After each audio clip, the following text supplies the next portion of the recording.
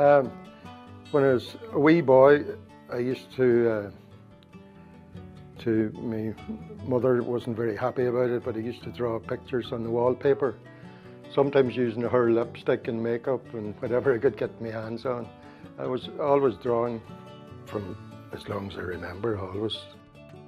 The Donegal landscape really is a, the total inspiration for me. I just love, I love walking into the hills and looking around me and, and uh, I, I, seem to store stuff within me memory and it comes out later on. I don't always have a sketch pad with me, indeed very seldom, but um,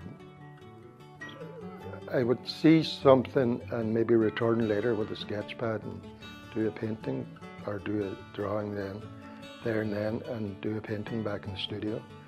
I prefer working in the studio, although I've started this last while working out out of doors, completing paintings outside, but uh, I tend to invent landscapes almost. And I don't paint them literally at all whatsoever. You know.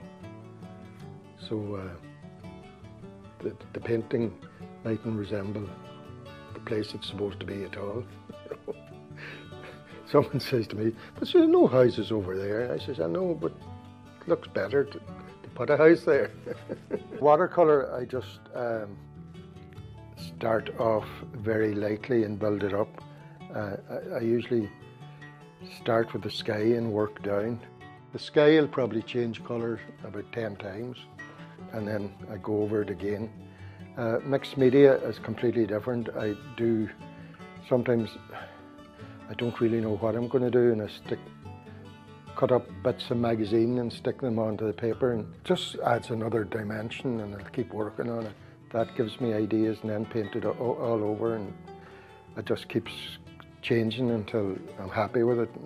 It usually ends up as a sort of a landscape of Donegal. I remember uh, any time I went abroad, Portugal or Spain, I just couldn't. I tried to do paintings there.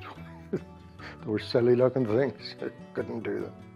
I don't know, the colours were too bright or something. I don't know. It makes me happy that other people enjoy the paintings and um, it's something that people will have for all time, you know, and it'll be handed down. So I, am proud of those sort of aspects of it, but I, I don't think about it in that way, you know. I just do the painting and whatever someone takes it away, that's the end of it as, I'm as far as I'm concerned. Most of the artists I admire are abstract artists. Uh, I, lo I, love Francis Bacon stuff, but I would never try and attempt to do anything like it.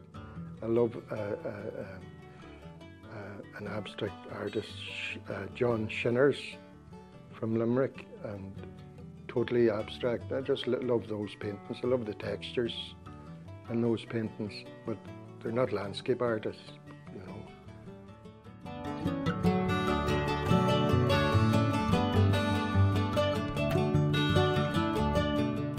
There's a, a watercolours book I saw, um, I, bought it in Dublin and Eason's and it, it totally amazed me. Uh, instead of these nice pretty watercolours of um, flowers and what have you, was the, uh, they're just bleak landscapes of Scotland and the north of England, and that uh, inspired me a lot. Uh, it's a big influence on me. John Blockley was his name. He's dead now, but his, his landscapes, his watercolours are just amazing, very atmospheric and almost abstract as well. I think you just have to keep at it and keep at it. Don't wait on inspiration, just it's, it's, it's work, it's like everything else. To be successful, you need to put an effort in and to work hard at it. And uh, as regards getting stuff into galleries, I, I, know it's not easy, but you just have to keep uh, pestering the gallery owner and they'll let you in eventually. Hopefully.